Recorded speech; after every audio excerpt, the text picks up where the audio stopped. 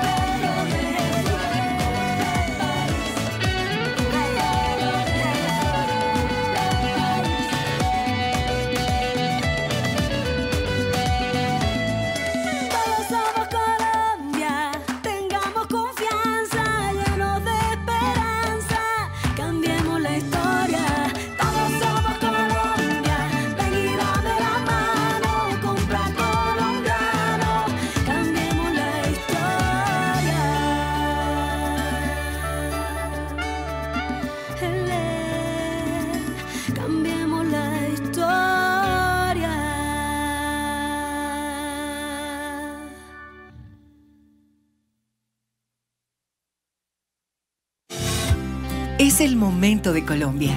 Seguro te va a encantar. Prepárate para conocerme. Pregunta por mí. Mis pueblos y ciudades están llenos de paisajes, colores, sabores y experiencias únicas e inolvidables. Es el momento de Colombia. Conócela, recórrela, disfrútala. Seguro te va a encantar. Visita recorrecolombia.com.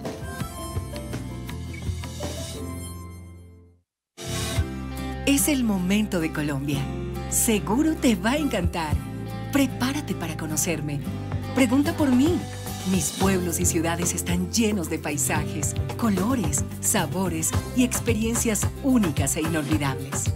Es el momento de Colombia. Conócela, recórrela, disfrútala.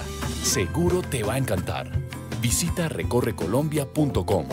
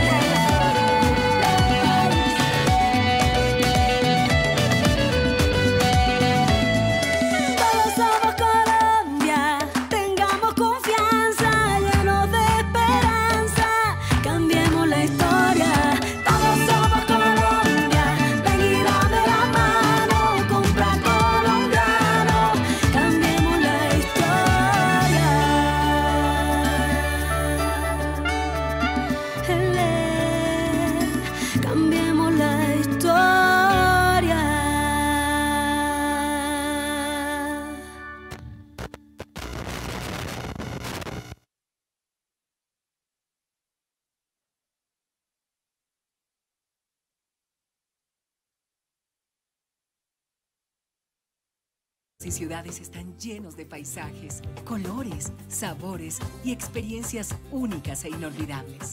Es el momento de Colombia. Conócela, recórrela, disfrútala. Seguro te va a Buenos días. Visita Queremos Recorre- pedirles, por favor, si pueden ir ocupando las sillas para dar inicio al evento de rendición de cuentas. Las personas que están afuera también queremos invitarlas para que ingresen al salón y así dar inicio a este evento.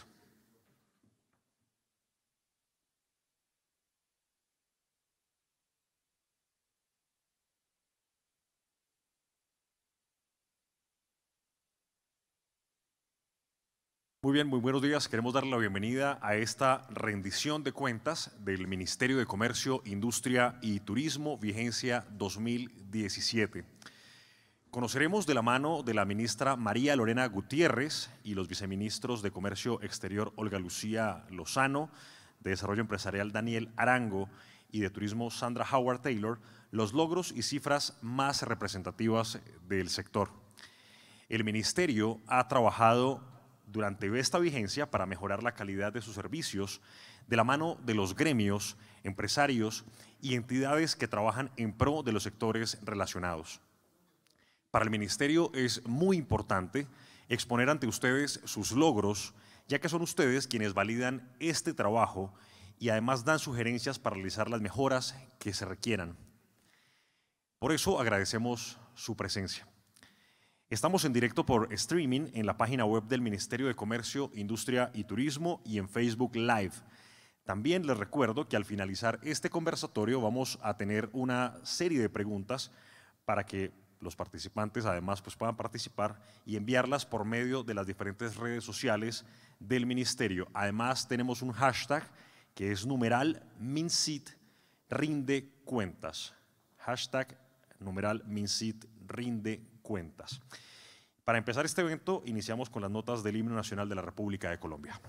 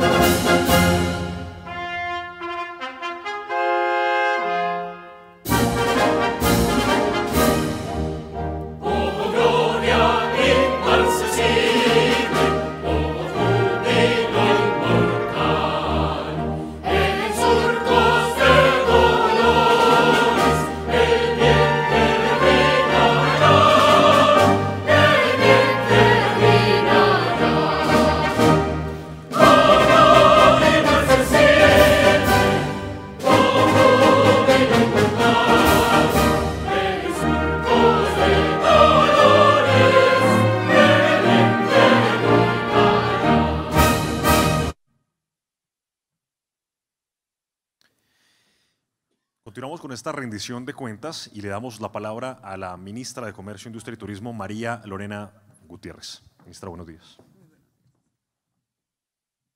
Bueno, muy buenos días a todos, a los que nos acompañan hoy aquí. Estamos eh, con los viceministros, Santiago, el secretario general, están los directores y presidentes de las entidades adscritas del sector, funcionarios, eh, y a las personas que nos están viendo por, la página web y por Facebook, pues muy buenos días para todos y mil gracias por acompañarnos a esta rendición de cuentas sobre lo que hemos hecho en este año en el Ministerio de Comercio, Industria y Turismo. Yo, pues como ustedes saben, creo que no he cumplido cuatro meses en, en este cargo como ministra, pero han sido unos meses para mí intensos y creo que la rendición de cuentas pues la voy a hacer con un conversatorio con los viceministros porque pues queremos cubrir todo lo que se ha hecho este año. Mi primer mensaje, y es lo que he tratado de hacer desde que eh, asumí este cargo como ministra, es tuvimos o estamos teniendo, pero ya estamos saliendo, un tema de desaceleración económica. Se ha bajado el consumo, hemos tenido unos índices que ya han empezado a repuntar. Si uno mira ya los consumos de energía, eh, hay, el consumo de, crédito, hay unos indicadores que nos hacen pensar y que nos llenan de expectativas de retomar este tema de la reactivación de la, de la economía. Pero lo más importante es la confianza.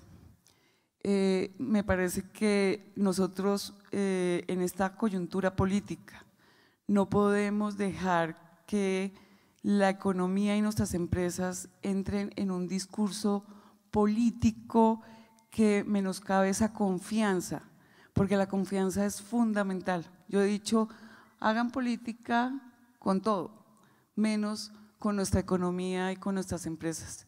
Eh, usé una frase que, he dicho varias veces y es, un buen vendedor nunca habla mal de su producto, nosotros no podemos hablar mal de Colombia, ni de nuestras empresas, ni de, nuestra economía.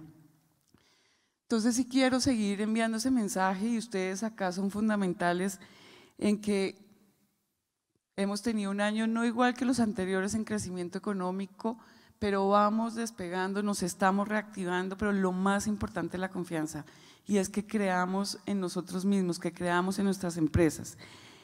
Eh, en estos tres meses eh, que he estado como ministra, me he concentrado en seguir apoyando los temas de desarrollo empresarial, el tema de turismo y el tema de comercio exterior, que es lo que vamos a hablar ah, hoy en esta rendición de cuentas. Hemos lanzado unas campañas que me han permitido también ir a las regiones a hablar con los empresarios. Este diálogo ha sido muy importante. Eh, creo en que nuestra labor desde el sector público es facilitarle la vida a los empresarios eh, lanzamos una campaña hace dos meses que se llama Menos trámites, más simples y tuvimos una gran participación, una gran participación de los gremios, una gran participación de los empresarios a través de la página, de la página web. Eh, tuvimos más de 1.900 eh, solicitudes de trámites que podíamos o eliminar o simplificar o automatizar ya hicimos como un análisis de eso, eh, llegamos a 940 trámites en los cuales tenemos que trabajar para intervenir. La semana pasada hicimos esa primera rendición de cuentas de la campaña de menos trámites con el señor presidente. Se eliminaron ya unos ocho trámites y hoy después de esta rendición de cuentas haremos eh, el segundo anuncio. La idea es que cada semana eh, con el apoyo de todos ustedes, los que están aquí acompañándome del sector y con otras entidades del gobierno, podamos seguir eliminando trámites, seguir simplificando trámites para facilitarle la vida a los empresarios. El otro tema es comercio exterior. Como ustedes saben, y, ahora que hablemos con la vice Olga, eh, eh, este año tenemos la, la presidencia pro tempore de la Alianza del Pacífico. Eso nos, nos da, digamos, una capacidad de poder eh, empujar esa agenda que los presidentes firmaron en junio de este año en Cali. Hay muchos temas, no solamente los temas de comercio, sino también temas de innovación, temas de mercados financieros, temas de infraestructura, en que estos cuatro países, México, Perú, Chile y Colombia, podemos trabajar en tener una agenda como un ejemplo de integración regional, que es un ejemplo a nivel mundial exitoso. Eh, es increíble el interés de los países en Europa y en Asia por la Alianza del Pacífico. Es una, es una integración de estos cuatro países con cero burocracia, con cero estructura de gobierno, pero que ha funcionado y que tiene metas y que tiene resultados y que ya se ven muchas cosas en educación y en integración de mercados financieros. Entonces, ahí tenemos muchas perspectivas y queremos, que, queremos hablar eh, también de, esto. Este gobierno eh, tiene un gran logro en los acuerdos comerciales. Ya tenemos 16 acuerdos comerciales, tenemos acceso a 1.600 millones de consumidores. Cada vez aumentamos nuestra oferta exportadora. Eh, ya antes representaba el 35% los productos que eran no mineroenergéticos, ya estamos cercanos al 50%, es decir, que aumentamos la canasta, pero también la estamos diversificando, pero ese es uno de los retos que tenemos. Uno de los retos es apoyar más a las empresas, trabajar con las empresas en aumentar esa oferta exportadora. En el tema de desarrollo empresarial, nos hemos concentrado, nos hemos concentrado en, el apoyo a la industria, en el diálogo con la industria, en seguir implementando nuestra política de desarrollo empresarial que tiene estos ejes de los cuales vamos a hablar hoy. Yo particularmente me he sentado con muchos sectores en estos tres meses y medio a tratar de tener una agenda con ellos, eh, de apoyarlos eh, también de mandar un mensaje de invirtamos en, renovación tecnológica en sus equipos, en calidad, en innovación. Entonces es llevar nuestra política a, esto. Estamos trabajando muy fuerte con Impulsa y con el PTP, con nuestros programas con Fiducoldes, que ahora espero darle la, la palabra, pero es tener un portafolio unificado para estas empresas, un portafolio en los temas de innovación, emprendimiento, competitividad y productividad.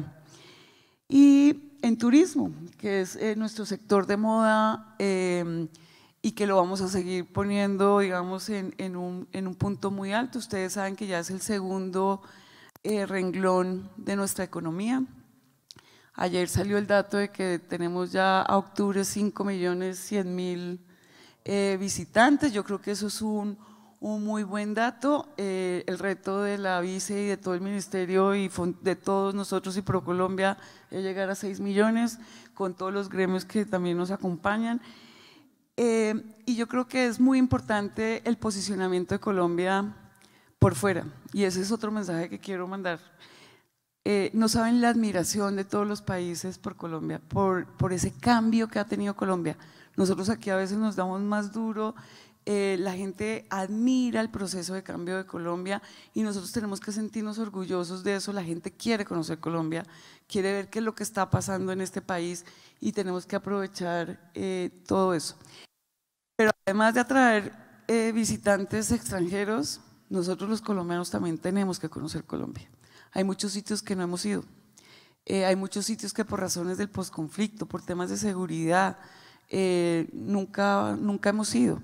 Y este país ofrece un turismo de naturaleza, de aventura, eh, bueno, un turismo de negocios como este donde estamos hoy, que es Ágora, que es un, centro de convenciones que nosotros apoyamos, el de Bogotá.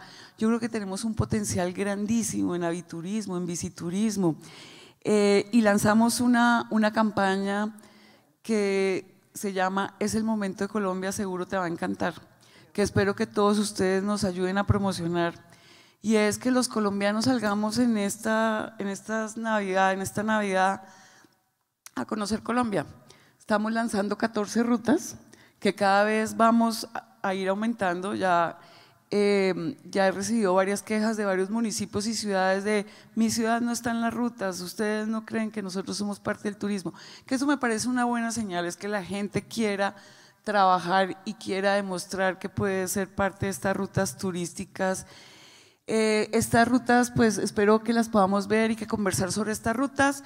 También los invito a que ustedes en esta Navidad, eh, cuando salgan con sus familias, eh, en carro, en bus, en avión, vayan y conozcan estos municipios. Hay una diversidad de gastronomía, de cultura, de naturaleza, de actividades que hacer. de verdad es un país que tenemos que, que explorar nosotros mismos. Solamente para dar un dato eh, positivo eh, que salió esta semana, llevamos ya 12 meses con crecimiento en las exportaciones.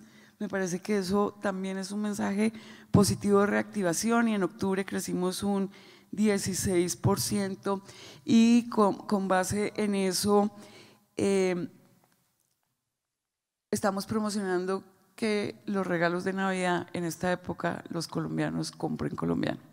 Tenemos una campaña de esos vestidos de baño, esta ropa deportiva, estos electrodomésticos que exportamos a muchos países, pues que los colombianos los compremos para los regalos que ustedes quieran dar en, en Navidad. Tenemos productos de muy buena calidad, apoyemos a nuestra industria, apoyemos, apoyemos a nuestros em, a nuestros empleados y trabajadores que son nuestros familiares. Piensen cuántas personas cercanas a ustedes no trabajan en una industria o en una empresa y si apoyamos nuestra industria estamos apoyando a nuestras familias, a nuestro, a nuestro círculo más cercano y a nuestra economía. Y en eso también hemos venido trabajando en una lucha contra el contrabando.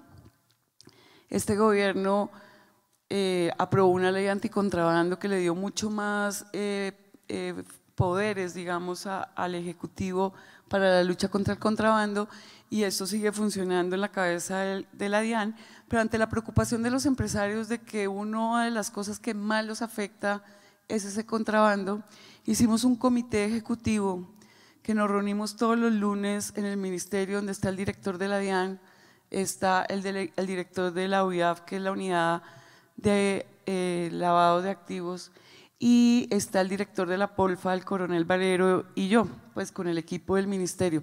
Y estamos haciendo una tarea micro de hacerle seguimiento al tema del contrabando, oyendo a la industria, recibiendo mucha información que tiene la industria, porque la misma industria es la que sabe quién, quiénes son los que están entrando mercancía y cómo la están entrando. Y los resultados son impresionantes. En estos tres meses, eh, esta semana hicimos una rendición sobre esto con el presidente se han, se han, eh, se han retenido más de 130 contenedores, especialmente en Buenaventura, donde es el puerto donde más está entrando textiles, confecciones y calzado, eh, por un valor de 200 mil millones de pesos. Imagínense, en estos, estos 200 mil millones no están entrando a la economía como tema de contrabando. Pero la lucha del contrabando no es una cosa que podemos hacer nosotros desde el gobierno solos. Eh, queremos invitar a todos los colombianos a que no compren contrabando. Cuando compren contrabando, primero piensen que están comprando cosas de mala calidad, muchas veces falsificadas, y segundo, que están acabando un empleo y una industria, o sea, su círculo más cercano. Entonces, eh, estamos cerrando el año con muchos mensajes. Eh, conozcan Colombia, compren colombiano y no compren contrabando. Entonces voy ahora a hacer un diálogo con, con ustedes. Eh, viceministros para que esto sea mucho más agradable que yo hablando sola.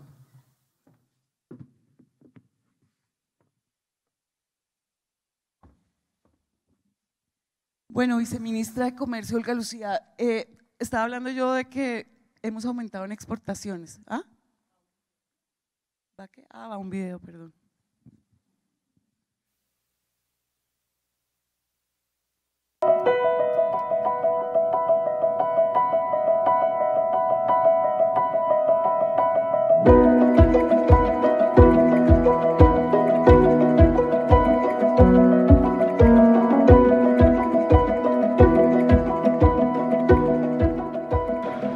Complace muchísimo poder anunciarle al mundo que vamos a iniciar negociaciones con cuatro países. Esos cuatro países son Australia, Nueva Zelanda, Singapur y Canadá.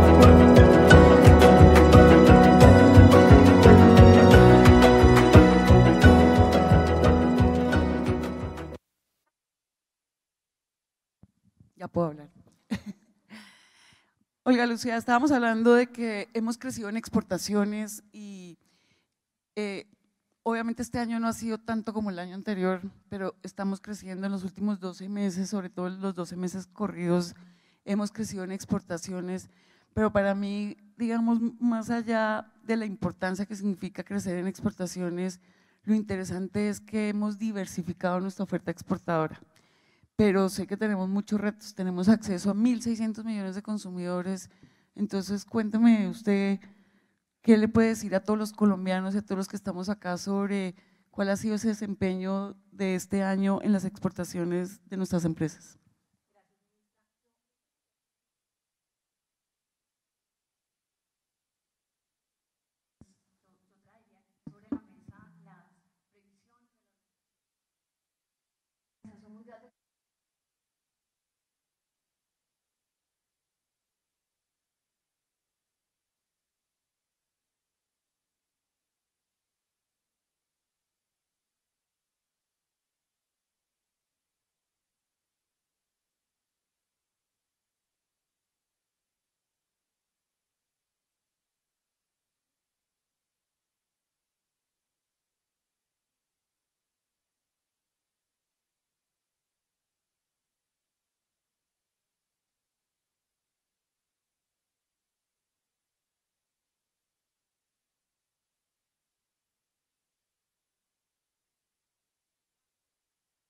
Del 30% de las exportaciones no mineroenergéticas tenemos una apuesta importante al sector agropecuario, de ahí nuestro tema de aguacatejas, la mesa agroexportadora, que es una iniciativa liderada por la ministra para eh, tener un grupo de productos sobre los cuales estamos haciendo unas acciones prioritarias.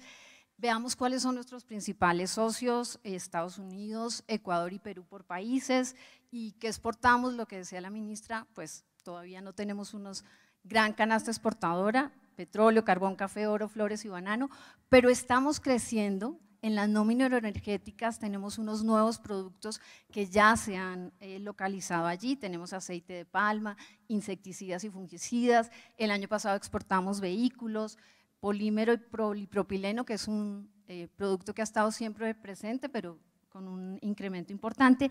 Y obviamente el rey de los productos, el aguacate por esa potencialidad que tenemos, pero también porque es un ícono en lo que estamos haciendo en el gobierno para apoyar eh, las exportaciones.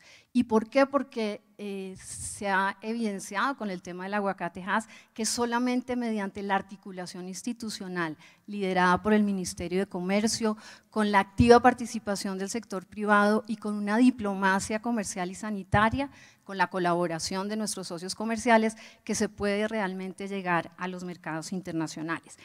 Mm, como decía la ministra, tenemos un grupo de TLCs muy importantes, tenemos 16, eh, y de ahí yo quisiera resaltar cómo ha crecido a nuestros socios con TLC el comercio. En Chile, por ejemplo, el crecimiento fue de 57%, en México 42%, en Brasil 33%, en Ecuador 23% y en la Unión Europea 11%.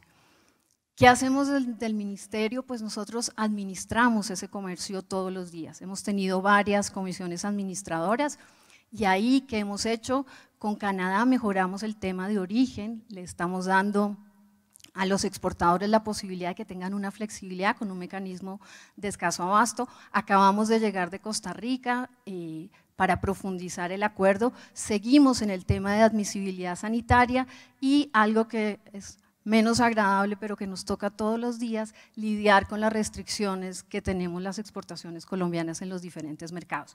Así que, ministra, si bien hay unos temas estructurales eh, en los que es muy difícil eh, lograr la oferta exportadora, estamos exportando a muchos mercados, tenemos un crecimiento superior al, comercio mundial y seguimos apoyando a los exportadores. Eh, tenemos que enfrentar muchas barreras, el tema de admisibilidad sanitaria y los temas de calidad son fundamentales y tenemos retos también enormes en el tema de estandarización privada. Pero ahí estamos todos los días con los exportadores colombianos. Mire, ese, ese dato que, que, dijo usted de cómo hemos crecido en este año, sobre todo en, en, en nuestra relación comercial, en exportaciones hacia estos países, eh, me parece muy interesante porque lo que uno oye y lee por todas partes es que los TLC no están funcionando, que para qué firmamos TLC si, si bien estos crecimientos que la viceministra acaba de decir son, son muy impresionantes. Y lo quiero unir con el tema de balanza. ¿Qué pasa con las, con las importaciones? Porque yo creo que ahí estamos creciendo mucho más en exportaciones que en importaciones. Entonces aquí sí hay un mensaje fundamental y es que obviamente tenemos mucho por hacer, que es la frase ahora común, eh, que podemos mejorar nuestra oferta exportable y llevar a muchos más mercados, pero que estamos creciendo más en exportaciones y que estos acuerdos nos han permitido entrar más productos con estas cifras que usted dio de crecimiento y que además las importaciones no están creciendo tanto yo creo que estamos mejorando en la balanza, ¿o no? Sí, señora, eh, la balanza está mejor, pero además yo creo que a las pobres importaciones les ha tocado el papel de los malos de la película, ¿no? Entonces, como que están proscritas en todos lados y nadie quiere eh, esas importaciones. Sin embargo, yo quisiera traer aquí una cifra y es el 69.4% de esas importaciones las hacemos en bienes de capital, en materias primas y en bienes intermedios. ¿Qué quiere decir eso? Que es precisamente porque hemos hecho esos tratados de libre comercio que tenemos una industria doméstica más competitiva y que estamos siendo más competitivos a su vez en las exportaciones. Entonces ahí yo creo que eh, hay que evidenciar también que nosotros como Ministerio de Comercio, que tenemos el liderazgo en la política arancelaria, eh, durante este año hay tres logros fundamentales. Primero, el Colombia Repunta, que es un programa que le da cero arancel a los bienes de capital y materias primas no producidos. 3.440 eh, subpartidas arancelarias recibieron ese eh, tratamiento en Colombia Repunta. Tenemos un segundo decreto que ya está para aprobación del CONFIS y también tenemos los productos que se benefician del convenio ITA, que es un convenio multilateral para bienes digitalizados. Así que eh, yo entiendo la preocupación de la balanza comercial, pero sin embargo yo creo que hay que aprender a mirar, como dice usted, ministra, con otra perspectiva las importaciones y ver la contribución de estas a la competitividad de la industria colombiana. Bueno, ¿y los servicios? ¿Cómo vamos en servicios? Porque eh, uno, digamos, eh, todos los colombianos decimos, uy, tenemos un gran potencial en servicios. Bueno, ¿qué hemos hecho en servicios? Bueno, ministra, en servicios tenemos cifras solamente hasta junio de este año, 3.900 millones, con un incremento del 6% frente al año anterior. Pero ahí nosotros somos líderes en las estadísticas. Este como es un sector que llegó después al tema del comercio internacional, porque siempre toda la estructura se construyó sobre bienes, pues ahí tenemos primero que tener unas estadísticas para entender más este sector. Pero ahí también eh, tenemos un crecimiento importante, les decía que es 6% frente al año anterior. Y yo quisiera resaltar también los crecimientos en algunos subsectores. Por ejemplo, en financieros crecimos 58%, en el software 49%, en servicios personales 22%, en el call center 38.4%. ¿Y a dónde exportamos servicios? Pues a Estados Unidos, a Países Bajos, a Chile y a Singapur. El 64% del PIB servicios. Entonces, este es un sector al que le estamos apostando. Dentro del ministerio tenemos varias estrategias. Lo primero, las estadísticas. El segundo tema, que es con el sector en general, un programa Colombia Exporta Servicios. Y ahí estamos apoyando desde el Plan Vallejo Servicios y desde el tema de las regulaciones y las negociaciones. Uno a veces piensa que los TLC son solamente para bienes, pero precisamente con los TLCs es que estamos logrando este incremento en el sector servicios.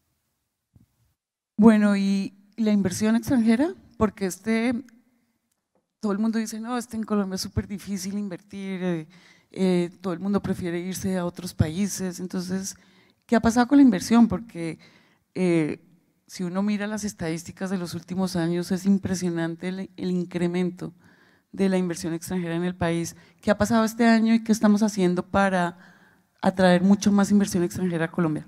Bueno, ahí tenemos cifras a noviembre y la inversión extranjera llegó a 8.408 millones, con un incremento del 13.3% frente al periodo del 2016. Así que, eh, dadas las circunstancias de la economía mundial, este también es una muy buena noticia.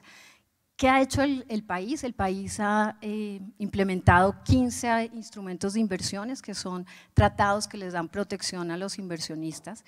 Se aprobó este año en el Congreso el acuerdo bilateral con Francia y se inició un proceso de modernización de los acuerdos. Colombia empezó desde los 90 a suscribir acuerdos bilaterales de inversión y dada los cambios a nivel mundial, pues hemos tenido que ajustar esas disciplinas a las nuevas necesidades. Eh, ¿Qué estamos haciendo? Este año se hizo un estudio de diagnóstico de la participación de la inversión extranjera en el PIB y cómo apoyaba en general a la, industria y a, la economía colombiana. Y ahí estamos diseñando una nueva ruta de acuerdo con ese diagnóstico. También se ha trabajado en la facilitación del registro en materia de inversión extranjera y un elemento que es muy importante y es la distribución de competencias entre el Ministerio y la Agencia de Defensa, porque ahí tenemos un riesgo, esos acuerdos son necesarios para que vengan los inversionistas extranjeros a Colombia, pero también implican que tenemos que tener ahí una conducta y portarnos bien y adoptar una serie de regulaciones, pues ahí hay un riesgo siempre en, en algunos sectores, entonces estamos mejorando esa coordinación institucional. Bueno, contémosle a los colombianos este año qué acuerdos cerramos y qué estamos negociando. ¿Qué otros acuerdos estamos negociando? Eh, este año eh, tenemos varios logros, lo que usted mencionaba, los eh, estados asociados en la Alianza del Pacífico. Ahí iniciamos unas negociaciones, apenas es el comienzo de un proceso, pero es muy interesante porque es la posibilidad de insertarnos estratégicamente en el Asia. Así que tenemos con estos países, Canadá, Nueva Zelanda, Singapur eh, y Australia, la posibilidad de llegar a un mercado de 71 millones de habitantes con un PIB de 48 mil dólares y ahí tenemos un potencial muy importante. ¿Dónde está creciendo el mundo? En Asia. Entonces nosotros tenemos que, de alguna forma, insertarnos en esos mercados para apoyar la inserción de Colombia en las cadenas globales de valor. ¿Qué más hicimos en, en el tema de acuerdos? Pues una actualización de Mercosur, Allí vamos a tener acceso al mercado de Brasil y al mercado de Argentina, no solamente en vehículos con unos importantes cupos, pero también en materia de textiles y confecciones. 667 productos se beneficiarán de ese mercado, 121 productos metalmecánicos llegarán ah, al mercado Mercosur y en otras negociaciones, ministra, que ya estaban iniciadas, pues hemos hecho eh, pues, la reactivación de esas negociaciones. Le hemos dicho tanto a Japón, como a Turquía que mejoren la oferta que habían colocado sobre la mesa para las eh, exportaciones colombianas y que sin esa mejora nosotros no podríamos continuar en el proceso de negociación y también en una visita reciente de la ministra se hizo un primer contacto con India para evaluar un acuerdo con eh, una cobertura muy reducida, pero para iniciar también una profundización con ese país. Así que ese es como el resumen y pues lo, como decía, toda la administración que tenemos, varias comisiones administradoras. Bueno, muchas gracias, viceministra. Yo quiero invitarlos ahora a ver una, un video con una historia sobre los logros de este sector.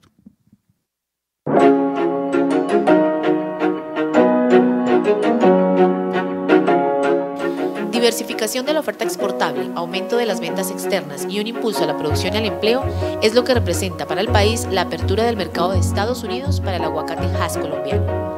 Esta historia de éxito inició hace casi 12 años en un trabajo conjunto entre el sector público y el privado y las autoridades sanitarias de Estados Unidos. Eh, tenemos una, una, extensión de producción ahora mismo de 320 hectáreas, de las cuales 35.000 eh, árboles y en este inicio con la primera exportación con 20 toneladas para el mercado de Estados Unidos. El compromiso de hacer trabajar el TLC por beneficio mutuo la cooperación bilateral técnica y finalmente ese compromiso con, con la paz. El aguacate Hass es una prioridad para el país y por eso se convirtió en un proyecto de interés nacional estratégico.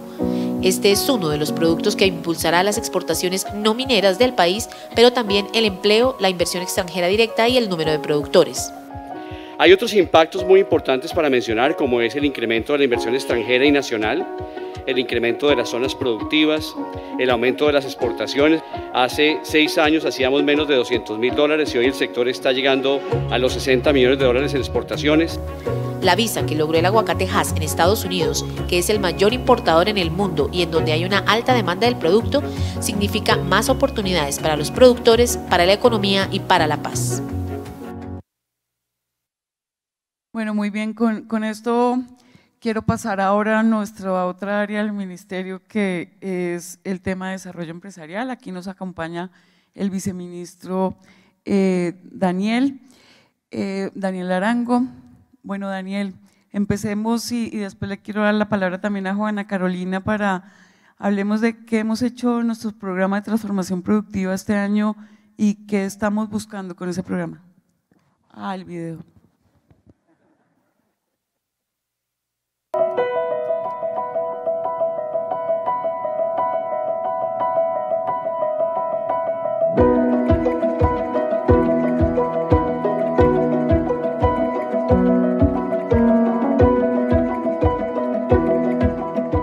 Nace Colombia Productiva.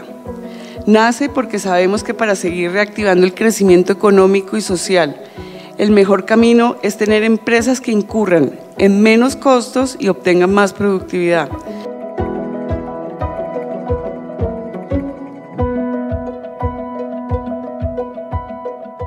Se simplificaron cinco trámites, se automatizaron nueve y se eliminaron dos.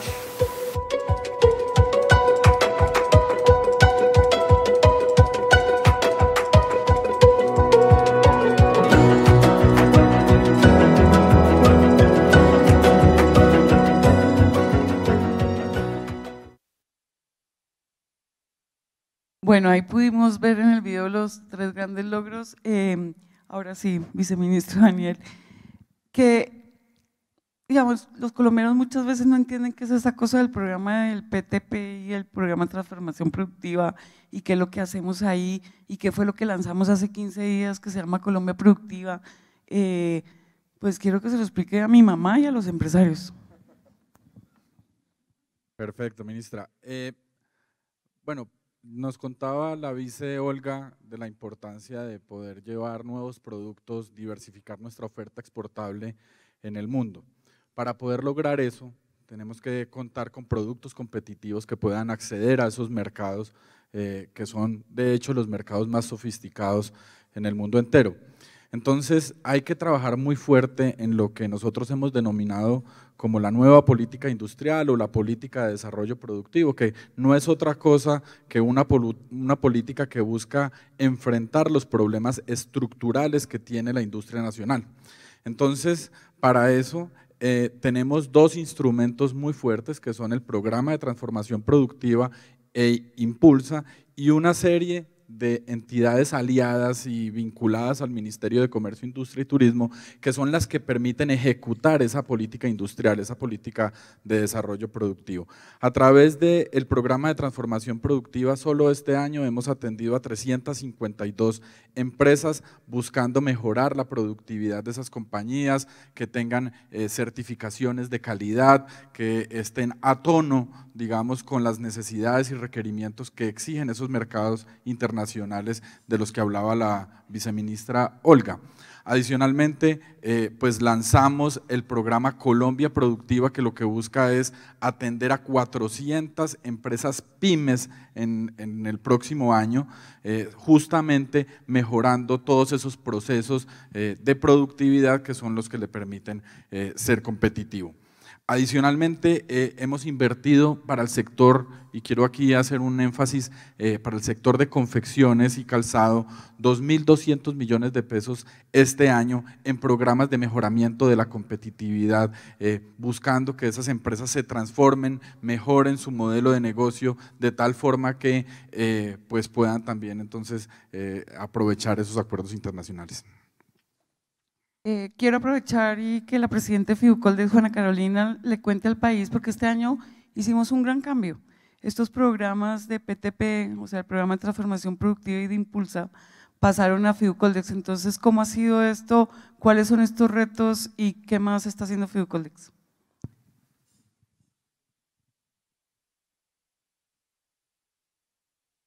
Muchas gracias, ministra.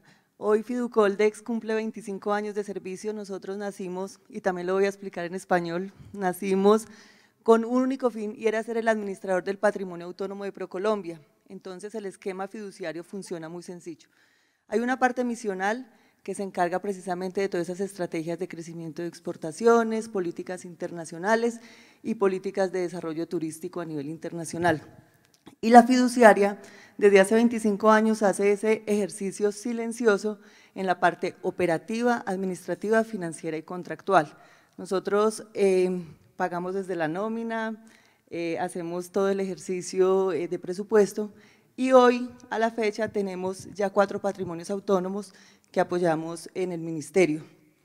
ProColombia, Fontur desde hace cuatro años y desde el primero de abril Impulsa y el programa de transformación productiva. ¿Qué más hacemos, ministra? De todo. Son cerca de 8 billones de pesos que nosotros administramos, son cerca de 170 negocios que tiene la fiduciaria, nosotros pagamos alrededor eh, de 10 entidades. El día de ayer nos fue adjudicada una licitación pública para la administración y el pago de las pensiones de la gobernación del Valle del Cauca, pagamos también las, eh, las pensiones de la gobernación de Cundinamarca, ISAGEN, Central Hidroeléctrica de Caldas, entre otras entidades. Administramos los recursos de ese lindo programa del Gobierno Nacional, que para mí es uno de los programas más lindos, mejor dicho, estoy, voy a tomar aire. Es uno de los programas más lindos, es el programa de Colombia Mayor. Nosotros lo administramos con otras tres fiduciarias y pasamos de tener 400 mil adultos mayores a cerca de casi 2 millones de adultos de estrato 0 a estrato 1. Ya en el tema financiero, creo que tenemos tres grandes logros, ministra. El primero es que estamos haciendo un ejercicio de educación financiera. Tenemos dos fondos de inversión de acuerdo a las políticas de innovación del ministerio, creamos unos fondos que empezaron en 36 mil millones y este año esperamos cerrarlos en cerca de 130 mil millones de pesos, donde cualquier persona, cualquier colombiano puede invertir desde 200 mil pesos. Las pláticas que ustedes tenían en las cuentas de ahorro pueden buscarnos en www.fiducoldes.com.co y ahí invertir sus recursos desde 200 mil pesos. Educación financiera. Y lo segundo, ministra, es el apoyo al sector empresarial. ¿Qué estamos haciendo? Desde Fiducoldex nosotros creamos el fideicomiso. Entonces, cualquier empresario que necesite eh, acceder a un crédito pues la fiduciaria les puede servir o de fuente de pago o de fuente de garantía. ¿Cómo funciona eso? Si usted es un empresario que necesita un crédito, pues entonces puede ir a Bancoldex con la leasing Bancoldex y nosotros les podemos servir de garantía. Si usted tiene un bien que vale 500 millones de pesos, usted se va para un banco, pues entonces se lo hipotecan. El bien pasaría a la fiduciaria y nosotros les podemos expedir certificados de garantía por los valores que vayan necesitando y nosotros les vamos optimizando esos créditos. Lo segundo, no sé por qué estoy asfixiada, ministra, qué pena. Y lo segundo es que también podemos servir de fuente de pago. Pongo un ejemplo. Eh, para cambiar no eh, sector hotelero, para esos pequeños y medianos hoteleros, de acuerdo a la ley que se tiene, para las ciudades de 200 mil habitantes, entonces los hoteleros pueden llegar a la fiduciaria, o pueden llegar a la Leasing Arco o a Bancoldex. Ay, gracias. Pero ya, ya se me está pasando. Eh, y pueden llegar, ministra, y nosotros podemos servir de fuente de pago. ¿Cómo es fuente de pago? Cogemos el recaudo de las tarjetas de crédito y esa es la fuente que pueden tener esos pequeños y medianos empresarios. La fiduciaria hace el recaudo, le paga la leasing banco, al leasing arco o al banco y así pueden acceder a las oportunidades de crédito que a veces no tenían la oportunidad de hacerlo. Y se me quitó el susto cuando ya acabé. Muchas gracias. Muchas gracias, Juana Carolina. Bueno, vice, muy bien. Tiene, tiene aquí sus fans. Em, viceministro, el tema de emprendimiento e innovación es fundamental para este país. Yo creo que en Impulsa hemos logrado muchas cosas. Este año Recientemente lo premió Ventures, eh, acabamos de hacer el Eros Fest, eh, estamos tratando de trabajar en esa cultura de innovación y emprendimiento en el país, entonces quiero que nos cuente brevemente y después le quiero dar la palabra dos minuticos a Juan Carlos Garavito, el director de Impulsa. Así es, ministra. Eh, si la vice Olga tiene la responsabilidad de promover nuestra canasta exportable, nuestro trabajo es llenarle esa canasta exportable para, exportable para que la pueda promover. Entonces, trabajamos muy fuerte en innovación. Impulsa es una entidad creada hace cinco años por este gobierno que tiene ese foco específicamente y es promover la innovación y promover el emprendimiento. En lo que va corrido de este año hemos atendido 1.492 empresas, se realizó el Héroes Fest, eh, donde dimos, digamos, toda una cátedra de mentalidad y cultura hacia el emprendimiento la innovación, más de 5.400 eh, personas, emprendedores asistieron a ese evento. Hemos movilizado 45.200 millones de pesos a través de proyectos para la innovación y el emprendimiento, pero también hemos hecho otras actividades que tienen que ver eh, con el desarrollo empresarial y, son, por ejemplo, ruedas de negocios eh, en el mercado interno con ProPaís. Eh, llevamos, desde que inició el programa de compra colombiano de ruedas de negocios, llevamos más de 200 ruedas de negocios. Este año hemos hecho 8 en las principales capitales del país, muy enfocados en sectores críticos y estratégicos, confecciones, metalmecánica, agroindustria y demás. y algo y algo muy importante que no se me puede olvidar es eh, el enfoque también que tiene este ministerio para promover la formalización empresarial. Eh, el año 2017 fue el año del decreto 639 que permitió que más de 129 mil empresas hoy no tengan que pagar el registro mercantil durante dos años y eso está enfocado simplemente en hacerle la vida más fácil a los empresarios, en hacerle los costos eh, más bajitos a los empresarios para crear empresas, porque lo que queremos es que el emprendimiento sea, digamos, una, eh, un común eh, para todos los colombianos. Juan Carlos, dos minuticos. Primero que todo, un saludo a todos. Eh, gracias, ministra, por darme estos dos minutos para hablar un poco sobre Impulsa. Como bien lo han denominado, Impulsa es una entidad del gobierno que está enfocada en todo el tema de innovación y emprendimiento.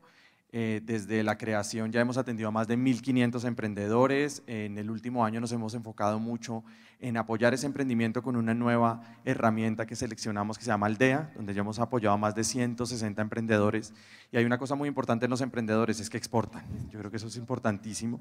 Hemos apoyado también a todo el tema de desarrollo empresarial, innovación en grandes corporaciones. Y yo creo que ahí lo importante decir es que creemos que eso es una vía muy importante para tener un nuevo, una nueva economía y una economía diversificada. Entonces hemos trabajado muy fuerte en apoyar a todos los empresarios, a todos los emprendedores y sobre todo hacer una economía mucho más fuerte. Entonces ahí desde Impulsa, este año también tuvimos eh, un tema muy importante en el tema de clúster, ministra. Eh, fuimos la sede de mundial del tema de clúster. Impulsa ha trabajado cinco años en todo ese fortalecimiento acercarnos a las regiones, eh, darle, digamos, digamos, una oportunidad mucho más grande. Acabamos de terminar nuestro Héroes Fest, donde también trabajamos en el tema de Alianza de Pacífico. 70 Venture Capital vinieron a conectarse con esos emprendedores. Entonces, eh, seguimos trabajando muy fuerte para tener una economía diversificada y sobre todo en línea con la política de desarrollo productiva, que tiene uno de los ejes principales, que es todo el tema de innovación y emprendimiento. Espero no me haya alargado mucho, ministra. No, estuvo perfecto. Muchas gracias y felicita. Póngamelo allá. María Lucía. Eh, María Lucía, la directora, María Lucía Castellón, la directora de ProPaís, eh, encargada de nuestra campaña de compre colombiano, lo que decía el viceministro ahora de las ruedas de negocios que estamos haciendo. ¿Cómo le fue ayer aquí en Bogotá con, con la rueda de negocios de, de moda? y, y un poco el lanzamiento de compre colombiano. Bueno, sí, eh, ministra, hemos venido desde el 2011 en las ruedas de negocio. De hecho, ayer estuvimos en confección Tuvimos cerca de 350 empresarios entre compradores y vendedores haciendo negocios todo el día. Se propiciaron negocios por cerca de 2 mil millones de pesos. Esto lo importante es que eh, eh, lo que hacemos es incentivar el mercado interno, pero de manera que cada vez tengamos empresas mucho más competitivas que estén listas para expandirse en el mercado eh, internacional posteriormente. paralelo a las ruedas, hemos hecho también un trabajo no solamente conectar a los empresarios, a los pequeños con los grandes o con las grandes superficies, sino que hemos también empezado una campaña para trabajar al consumidor, para que el consumidor entienda la importancia de consumir el producto colombiano, porque al consumirlo genera empleo, genera desarrollo, el mensaje es que genera progreso, aumentan las empresas y eso, por supuesto, redunda en un beneficio muy importante para el país. Entonces, eh, tratamos de, que, y en esta época de Navidad, pues se lanzó el lunes pasado la campaña, eh, en Navidad para que todo el colombiano que estamos en una época de consumo, de compras, de regalos, pues optemos por el producto colombiano porque es competitivo, porque es de calidad y porque además generamos progreso para el país. Muchas gracias. un tema muy importante para los empresarios y para nuestra política de desarrollo empresarial es el tema de financiamiento. Eh, y antes, viceministro, darle a usted la palabra, aquí nos acompañan dos personas muy importantes del sector. Está el doctor Mario Suárez, presidente de Bancoldes, y está el doctor Juan Carlos Durán, presidente, director del Fondo Nacional de Garantías. Y yo quisiera que nos cuenten los colombianos porque ustedes tienen una labor fundamental, apoyar a las industrias colombianas, pero también incentivarlas al tema de exportaciones. Entonces, doctor Mario, ¿cómo vamos en Bancoldex y, qué estamos haciendo para el apoyo a empresarios?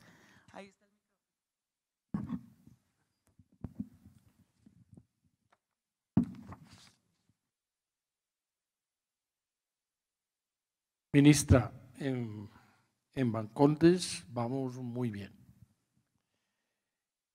Eh, en primer lugar, déjeme destacar que Bancoldex es una caja de cristal. Respaldo con dos afirmaciones.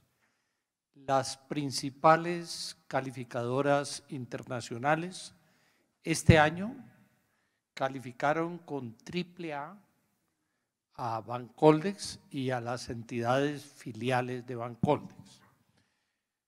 Por otra parte, la Contraloría General de la República, a quien muchos temen, hizo una visita a Bancoldex y la clasificó con el 99.8 sobre un puntaje de 100. Así que vamos muy bien. De enero a noviembre de este año hemos desembolsado un poco más de 3 billones de pesos a través de 64.300 operaciones que van a beneficiar a 60.000 empresas. En segundo lugar, en MIPIMES tenemos el 50% de los desembolsos del banco, este año 1.64 billones, eh, en modernización empresarial hemos desembolsado 1.34 billones, es decir, 57 mil millones de pesos más que el año pasado. En apoyo e internacionalización a la economía, hemos desembolsado 840 mil billones de millones, mi, mi, a 643 empresas exportadoras. Tenemos un apoyo permanente a regiones en conflicto. A través de las líneas subsidiadas hemos dado apoyo especial a las empresas de Norte de Santander, a las empresas del departamento de Arauca, de La Guajira, de Mocoa, de Buenaventura, del sector lácteo y del sector textil colombiano. Emitimos este año un bono verde que fue rapado en el mercado, 200 mil millones de pesos, habiendo tenido una demanda 2.6 veces superior a estos 200 mil millones de pesos. Bono verde, dedicado ese recaudo a financiar productos verdes. El próximo año vamos a emitir 500 mil millones de pesos para colocarlos en el mercado.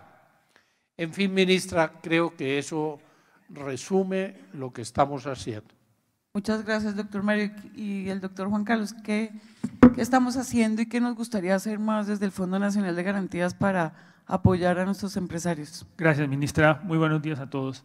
Eh, para recordarles rápidamente el Fondo Nacional de Garantías es la entidad a través de la cual el gobierno nacional emite garantías para respaldar el acceso al crédito de las micro, pequeñas y medianas empresas. En ese orden de ideas, Em, este año hemos garantizado créditos por 11 billones de pesos.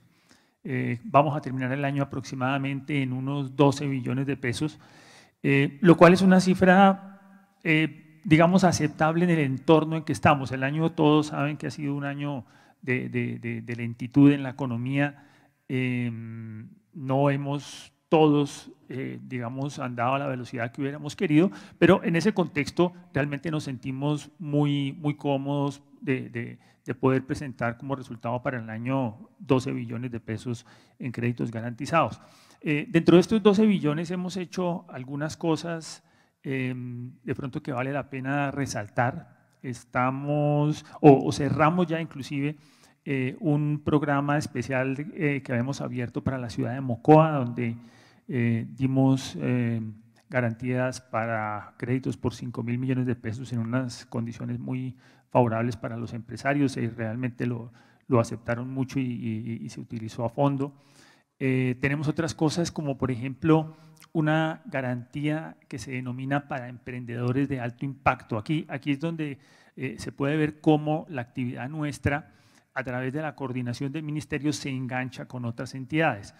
Eh, este, este programa de emprendedores de alto impacto es un programa que desarrollamos en conjunto con Impulsa, eh, donde eh, se trata de apoyar a unos empresarios, a unos emprendedores que tienen unas características muy especiales, es decir, que tienen, primero que son empresas que, ya comenzaron a vender y segundo que son empresas con gran proyección, son empresas que tienen una, una administración muy fuerte, con mucho conocimiento, con unos planes de negocios muy definidos y, con muchas perspectivas, eh, es decir, el tipo de empresas que este país necesita realmente para crecer. Entonces, nos hemos, nos hemos juntado allí eh, Impulsa y el fondo, y, por ahora un solo banco eh, que está trabajando con nosotros, que es Bancolombia. Esperamos que, eh, entren otros, hay otros en, en, la cola, de manera que esto lo podamos expandir, porque creo que estamos pegándole a un punto que es esencial para el desarrollo del país. De manera que con esto, tal vez eran como los dos temas que quería resaltar de manera particular. Y, bueno, seguimos adelante y seguimos con, con, mucho optimismo de que el año entrante las cosas van a estar mejor, vamos a tener un, un, mejor crecimiento, va a haber más crédito para las pequeñas empresas y vamos a seguir empujando esta economía hacia adelante. Gracias. Muchas gracias, doctor Juan Carlos. Y en ese tema de financiamiento, viceministro, ¿por qué no nos cuenta, porque yo creo que es un gran logro, el tema de las garantías inmobiliarias y qué más estamos haciendo? ¿Y cómo lo empujamos más? De acuerdo, ministra. las garantías mobiliarias es un, es un mecanismo que permite que las compañías puedan poner como garantía para la obtención de un crédito algunos, muebles, algunos, algunos bienes que no sean inmuebles, por ejemplo, un horno, una máquina, un inventario, puede a partir de, eh, de la ley de garantías mobiliarias eh, ser sujeto de garantía para un crédito. Ahí estamos trabajando muy fuertemente con Confecámaras, quien es la entidad que registra esas garantías mobiliarias y estamos acercándonos mucho a la banca para que la banca empiece a aceptar esas garantías mobiliarias eh, a, los empresarios, especialmente a, los empresarios pymes. Pero no es solo ese instrumento, también eh, estamos trabajando muy fuertemente para sacar a principios del próximo año eh, lo que tiene que ver con la factura electrónica, que va a ser otro mecanismo de financiamiento para los empresarios, especialmente los pymes, que no necesariamente van a tener que ir a la banca para poder obtener un crédito, sino que van a poder financiarse a partir de las facturas de eh, sus clientes y de esa manera poder obtener liquidez de manera muchísimo más rápida. Muchas gracias. Y bueno, con respecto a nuestra campaña de trámites, antes de que usted nos sale de la ventanilla única, quiero darle la palabra a Paula Durán, que es asesora del despacho, que es la que me está ayudando a liderar este tema. Bueno, ¿cómo vamos, Paula, y cuáles son nuestros retos en el tema de menos trámites más simples?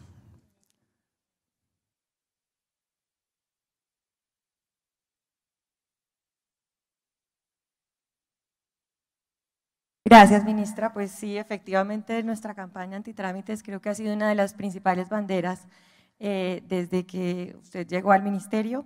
Entendemos que pues, parte de nuestro reto principal debe ser em, hacerle la vida más fácil a nuestros empresarios y por eso y construyendo un poco sobre la experiencia que, que ha tenido la ministra en la presidencia, eh, con el tema de la ley antitrámites en el 2012, decidimos lanzar esta campaña antitrámites, más eh, perdón, menos trámites, más simples, em, un poco oyendo también de los empresarios, de los gremios, cuáles eran esos, procedimientos, esos trámites que dificultaban su labor empresarial.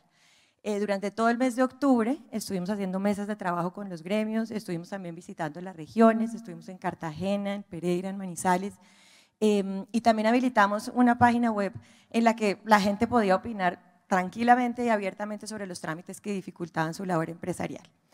En la campaña eh, que estuvo abierta durante un mes, recibimos más de 1.600 propuestas a través de la página web y recibimos 400 propuestas a través de los gremios. Esas propuestas ya las hemos ido recogiendo, eh, analizando, priorizando eh, luego de hacer como un barrido inicial, llegamos a un listado de 910 trámites, que son los trámites en los que estamos trabajando eh, interviniéndolos.